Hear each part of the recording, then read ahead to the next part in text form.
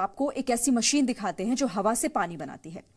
Atmospheric water generator नाम की ये मशीन सेना के जवानों के लिए बेहद फ़ायदेमंद साबित होगी।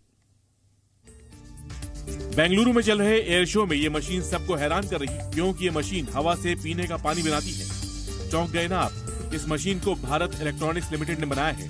इस मशीन की खासियत है कि हवा में मौजूद नमी या आर्द्रता से पानी का संग्रहण करती है। इसमें शक्तिशाली फिल्टर्स लगे हैं। जो न सिर्फ़ पानी को शुद्ध बनाते हैं बल्कि उसमें ज़रूरी मिनरल्स को भी खोलते हैं।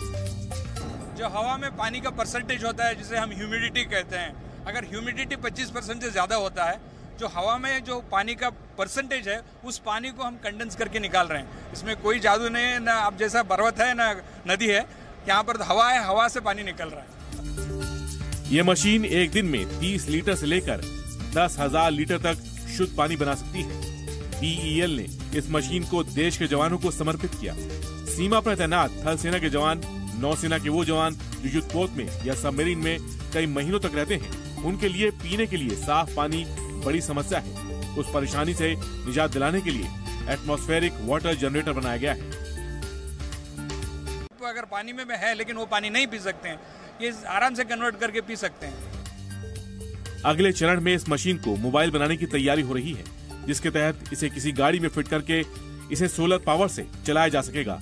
सेना के अलावा आम लोगों के लिए भी ये मशीन इस्तेमाल हो सकती है। राजस्थान, चेन्नई, महाराष्ट्र, मध्य प्रदेश जैसे राज्यों में जहाँ पानी की किल्लत है, इस मशीन का इस्तेमाल वरदान साबित हो सकता है। बेंगलुरु से जयपाल शर्मा के साथ ब्यूरो रिपोर्ट, जी मीडिया।